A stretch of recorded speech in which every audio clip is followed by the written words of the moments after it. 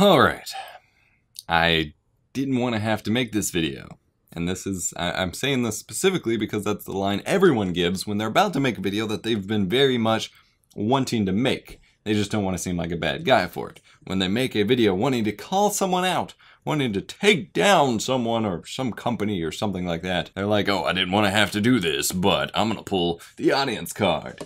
And that's not what I'm doing here for a couple reasons. A, because I've already figured out my situation. I've already gotten myself taken care of. Like, while I'm pointing out something that was done wrong to me, I'm not, there's no retribution to get. And there's no retribution that could be had because of, as of at the moment, the company no longer seems to exist. So I've had a lot of issues with my website and my web domain and the like lately that caused a lot of problems.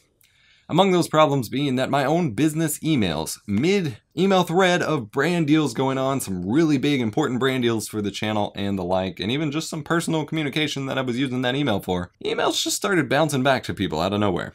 I didn't know, because it doesn't tell me that.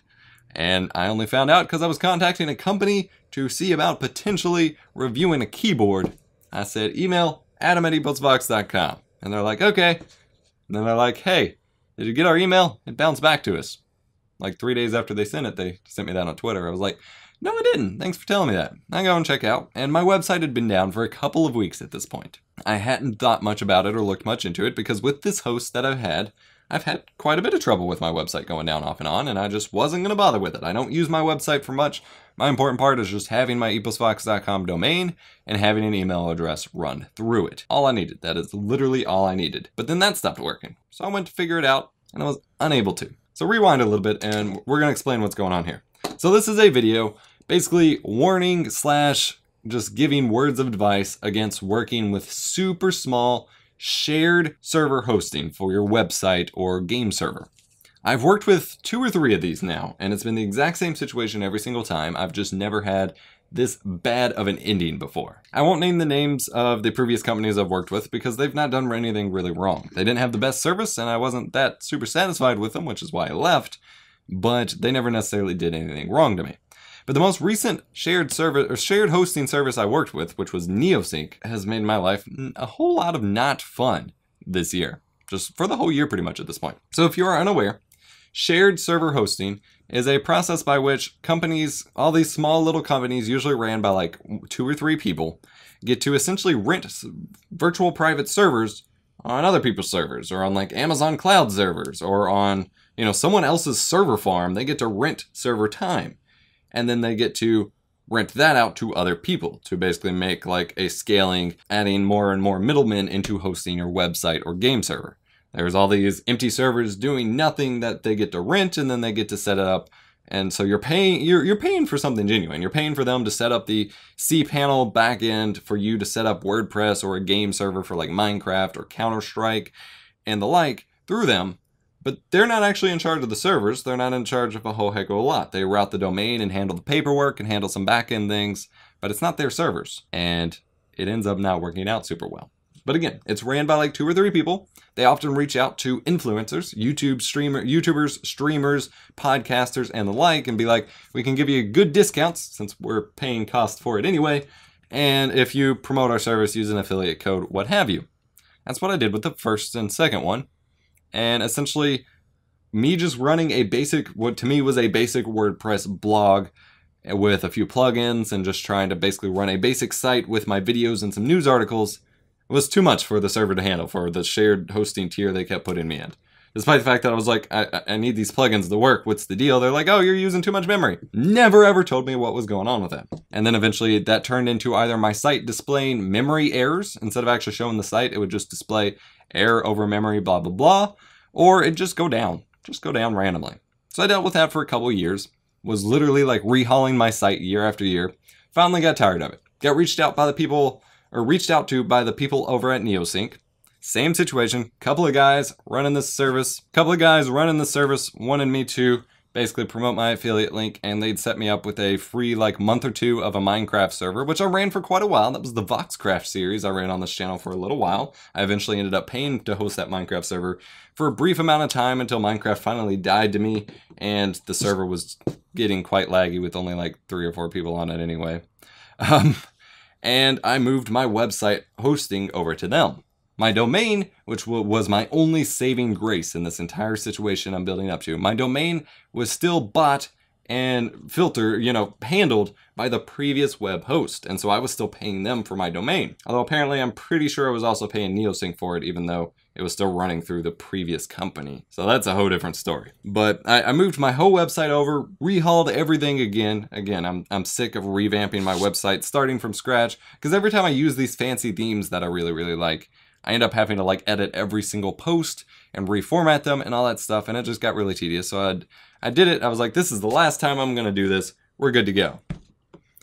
It was great for the first six months to a year. It was really great. They never ran into the same plugin memory issues that I had on previous hosts. It seemed fairly reliable and it seemed a little bit quicker, especially once I integrated Amazon Web Hosting or Amazon Web Services for caching or caching my images that I was uploading. Worked fantastic. I was really happy with it. Never made a single affiliate sale. That's on me, but I had the link in every video description, which I'll get to in a minute. And I promoted the server and stuff, but people don't want small name web hosts when it seems fairly shady, and I apparently shouldn't have gone for it myself. But it worked great. And then over the past year and year and a half, it's had just random bits of downtime. And it's and they've had some blacklist, blacklisting issues where I myself stopped being able to connect to it. I couldn't even go to my own website. Other people would load it. I'd like send the link to people. I'd be like, does this work for you or is it down? They're like, yeah, it works fine. What are you talking about? Every time I'd load it, oh, DNS couldn't do it, whatever. Every single computer on my network it was an IP based thing, not like a host issue or my own specific DNS issue. They had to add me to white to a whitelist a million different times, even though my public IP rarely ever changed, which was a mistake on my part in general, but still. Um, and it just never kept working. And then eventually the FTP server just literally would not let me connect. Now, when I first started working with them, their support was fantastic. They had an active Twitter account where they were sharing status updates, letting me know and letting everyone know uh, maintenance downtime. They had a Skype account that was supposed to be for sales only for them to like talk to people for sales, but they'd always contact me about my support tickets on there. They had a support ticket system where they responded to me like immediately. Like they wanted to make sure they could help me out. By the time of the end of my service, I had so many open tickets that either just disappeared or they stopped responding to. I was literally calling them out on that in the support ticket system. I was like, all right, I've already submitted three tickets on this. I have the number in my email where it said support ticket number, blah, blah, blah, blah, blah, but they have disappeared from even my closed tickets on my account. What the hell, man? And then they passed me up to some other higher up and they're like, oh, sorry about that. We'll get this fixed. And never got it fixed. Then I started getting billed for services that I canceled. That's when I started to get really, really pissed with them. I ran uh, originally it was just eposvox.com but then i started up a couple side projects to see if i could take them anywhere and it didn't end up happening. But i had an indie game site a pokemon site and even a site for a podcast i was running all through them. All yeah all through them paying them a lot for web hosting services. Those sites worked okay but whenever i had the issue of not being able to connect to the back end of my website it affected those sites too. And uh, eventually i just wasn't even able to work on the website and it just wasn't worth it so i just canceled. I was just like all right I'm done. Let the domain expire. I am done. Well, when you let domains expire with them, their billing service has an automated email system that emails you like every couple days to let you know, hey, your domain's expiring. Hey, your domain's expiring. Hey, your domain is expiring. It's still emailing me to this day, even though I can't respond to that email address. So when I got charged for it again and I got the invoice and it's like, you're charged for this website. I was like, hey, what's up? I canceled this. What's going on? They're like, oh, sorry. You need to cancel through your PayPal automated payments confirmation, something that took me a very long time to find, mind you, and it still takes me a little bit of time to find sometimes if I'm not remembering correctly. But like, I need to cancel it through PayPal or otherwise they're going to keep keep charging me because that's how it works. It's not how it's worked for any other subscription I've ever had. Every subscription I've had, if you cancel on their website, they're no longer charging you. That's how it's supposed to work. But no, apparently I need to tell PayPal to just stop paying them or they're just going to take take money forever like Trump's campaign. I don't know. So I was like, okay, fine, whatever. I did it. Please don't charge me anymore. They didn't give me a refund, they gave me site credit. I was okay with that at first because I still had my hosting and stuff through there and I'd just take it out of there. Got charged again for the other website that I had canceled. I thought I had cleared out all the PayPal ones and just left the one for my website. There was only one left. And as far as I could tell, it wasn't associated with those websites. Still got charged again. Took out all the site credit and took money out of my PayPal. And I'd been charged a couple other times that I couldn't figure out exactly what for. I contacted support. This is now the end of July. I was like, hey, what's going on? I got charged for this. And I was pretty sure I canceled on PayPal. Uh, everything's expired on your end. Why am I being charged for services I'm not getting? No response. Now, apparently starting at like mid-July, my website had been down and never came back up. I didn't notice because I wasn't working on it. I was just using my email. I hadn't focused on my website. I didn't feel like dealing with it. Come the start of August, get that email or Twitter message that, hey, my email's bouncing back and site never came back up. Fast forward to early to mid-August, I go to contact them to figure out what the hell's going on. Neosync's website doesn't exist. No neosync.net. Nothing. Even the cached version, or cached, everyone must correct me on that, the cached. The cached versions of their website and my website are basically just destroyed. And if you search for Neosync, eh, even Neosync web hosting, they no longer come up. I have literally to this day, uh, this this problem started at the end of the July. It's now about to be the start of September, probably mid-September when you're watching this. I have to this day yet to be able to get a hold of anyone at that damn company. Email? All of their own emails bounce back because their own domains are shut down and not you know not not responsive. Even though I'm still getting automatic notifications from billing at neosync.net still telling me that my domains are expired and make me want to rip my hair out, I can't respond to those emails. It bounces back. I can't send an email to support at Neosync. It bounces back. Their own website is their existence doesn't seem to exist. Skype, I can't get a reply from them uh, there either, and as far as I can tell, they haven't been online on Skype in like six months. What the hell do I do? No support ticket? No Skype? I went to check for their Twitter account. Their Twitter account stopped posting like towards the end of 2015. They have disappeared. They ran away.